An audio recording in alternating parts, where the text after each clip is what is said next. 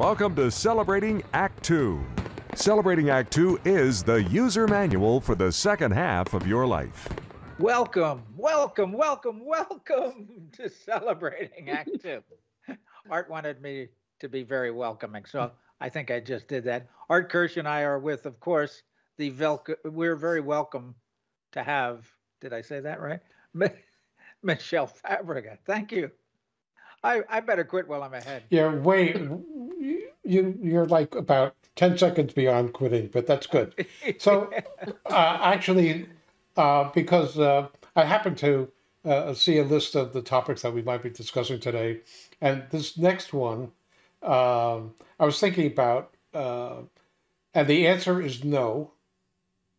if you if you want to believe my source, but it came from Harry and Sally where uh, Harry was asked, uh, or Sally asked uh, uh, if they could just be friends, and he said, no, uh, a, a, man and a woman can't just be friends. They always want to have uh, sex. And so the answer is, eh, Harry's answer was no. But I think that you might have a slightly different take on it. so we're going to give you a chance to give us the, the correct answer. Uh, but anyway, can so the question is, can heterosexual uh, uh, uh friends just be friends? What yeah, say you? I, I, what I say you, love and relationship coach Michele Fabrega? Yeah, yeah. Well, I totally remember that movie when Harry met Sally, and um, yeah, it was a funny scene. Um, well, what was interesting is that I think that there is something. Um, a lot of people have beliefs about what's okay and what's not okay. So I thought I would just let's just look at this together. I mean, I don't have, you know, a strong opinion about this per se. I think everybody has to kind of navigate themselves. But anyway, when I dove into this topic, it was very exciting because I discovered there was an article in Scientific American about how men and women experience opposite sex friendships. So men tend to be much more attracted to their female uh, friends than vice versa. And also, men are more likely to think that the women are also attracted to them, which is kind of misguided because a lot of women are blind to the fact that their male friends are attracted to them. And they assumed that the lack of attraction was mutual. Now, granted, this was done with undergraduates, but I just think it's interesting that there's like kind of a different estimation of how much, you know, they, they assume mutuality but men assume that they're mutually attracted to each other, and women assume that mutually not attracted to each other. Wow. So, um, yeah, and right, which is kind of what the movie talks about, I think. Yeah, yeah. Well, it, that that's one of the differences between men and women. We we think differently. Yeah. I mean, we have different emotions as well. So, wait, you're, so Michele, you're saying that you're, and I know it's a generalization, that uh, if uh, men and women are uh, in a friendly relationship, or at least starting out as a friendly relationship, that the man generally has more romantic issues on his mind than the woman approaching that same relationship as a general rule, not as a an absolute. Yes, that's what the research said in this particular study is that mm. men are more likely to to be attracted to their um, female friend and assume it's mutual. And the well, women are ah. more likely to not be attracted and see it as a friendship and assume that's mutual. So there's just a disconnect, right? Mm. So um, I, now let me think about this. Does that mean that Billy Crystal's Harry was right? Fine for men, him. men always see the possibility of a romantic relationship, and women don't always see that yeah i mean always a strong word but i think generally you know he there was a pul- he had this you know there was a pulse that he, he was reading there for sure.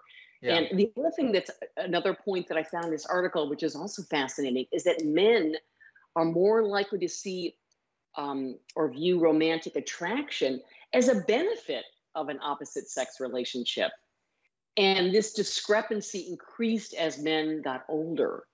So they appreciated the attraction um, whereas um, you know younger men. So so anyway, there was something like um, men on the younger end of the spectrum were four times more likely than females to report romantic attraction as a benefit, whereas older men we're 10 times more likely to find romantic attraction with a woman as a benefit in the in the friendship as a woman would find it yeah so it's like they Mm-hmm. enjoy the juice or the you know excitement of that Yeah.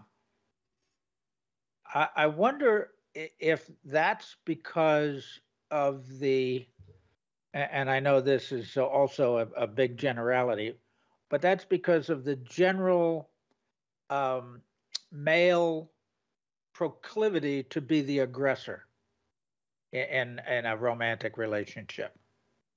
Yeah. I- That Yeah. women are are are more often than not feeling uh, defensive. Uh, you know, Mm. do do I want this guy hitting on me or not? You know, I like him. Oh, he can hit on me. Oh, this guy's not for me. I wish he'd quit hitting on me. You know, it's it's a matter, and, and I think that's the the basic. Uh, that goes to the basic core of the difference between men and women in in uh, dating ro- relationships. uh, You know, romantic relationships.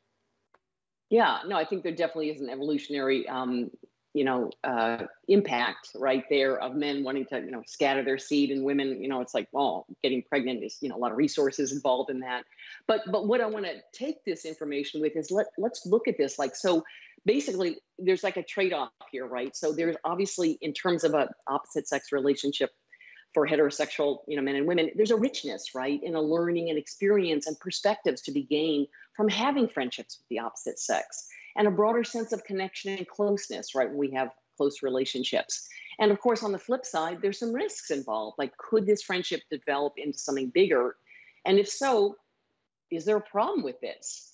Yeah. So those are the two kind of trade-offs that I think each person kind of needs to navigate. But I think that as long, in my opinion, as long as there's no deception involved, that everyone is clear on what is happening and what's not happening, you know, what's on the table in terms of, you know, what's available to engage in, and then then all is well. And I think there can be something super energizing about, um, you know, the flirtation, the possibility, and we can bring that energy home to our relationship that we're, you know, that we're in. And um, I'm thinking of a person I knew, like, you know, she had a major crush on her personal trainer. And, um, you know, she never crossed the line with him, but, you know, it sure made her more motivated to work out.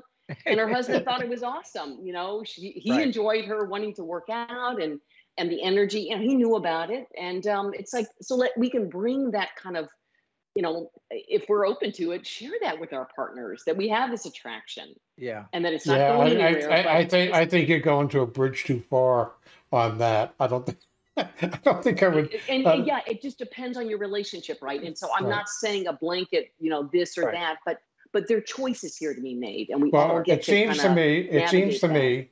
Seems to me that so far Harry was right. Not only was he right, I forget about the uh, the the wonderful scene in the delicatessen, um, uh, which has nothing Oh. to do with what we're talking about here.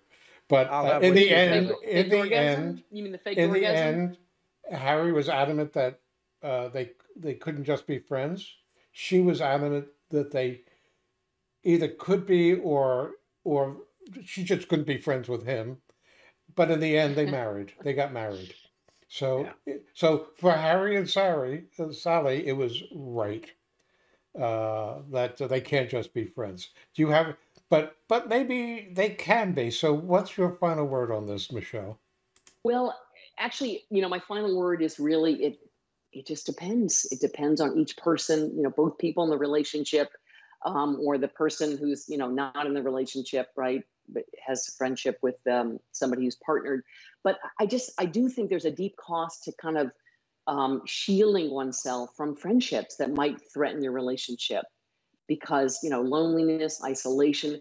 When we put all of our connection and intimacy eggs, let's say, in one basket, you know, we're kind of putting ourselves at risk. And so, like I said, the perspective and viewpoint you get from another uh, friendship can really can really broaden your world. So I think, eh, I mean, the key basically is that you know, if you think your partner is overly controlling, then of what you can do and how you can relate to other people, um, you know, that's something to look at too, right? So um, it, it's just, it's basically, I'm bringing the issue here, and it's up for people to talk about, talk about with your partners, talk about with your friends. What do you think? Yeah. Yeah. uh, it, it seems to me that Harry was right, but he was also wrong in, in the sense that um, you, you th- if you don't cross the line, you can be friends. There's a, there's a line there between friendship and romance, and I don't know. yeah, well, I think there are a lot of people who are friends with their former partners, right? I mean, I have a, a man that I was involved with for four years, and we're still friends, and you know, we crossed the line, and yeah. it's kind of a beautiful thing. And he's happily in a new relationship, and you know, I'm with Dave as as I talk about regularly. Anyway, you know, so it just it just depends. It really depends. But I think there's if we, I just think that to to limit ourselves too much in friendships is is not always a great thing. So everybody's got to kind of navigate the territory that, that's right for them and their partners. Any last thoughts? Uh, no, I think I mean you know I talk about another in another topic. We're going to talk about sovereignty in relationships, and I think this has a kind of a, a related issue around that. Like what? Um, anyway, we'll get into that soon. Sovereignty, mm. like who's in charge? Oh no! Oh, like let's take, take a breath. Wait, let's not steal thunder from another episode. Uh, okay. So next time we'll talk about sovereignty. Next time. Thank you, Michele. It's always fascinating your take on things, and that uh, like most things in life, not everything is black and white. There's shades of gray, and so uh, we know that we're friends with you, and we're not we're not ashamed of that, and we have just lots of fun together. So uh, thank you for that. And that proves that uh, we can have a relationship with uh, uh, somebody of the opposite sex and just have a thoroughly enjoyable uh, uh, relationship based upon our professional backgrounds. So thank you for that. Yeah. For more on Celebrating Act Two, visit our webpage, follow us on Facebook, subscribe to us on YouTube and tell your friends. Celebrating Act Two is the user manual for the second half of your life.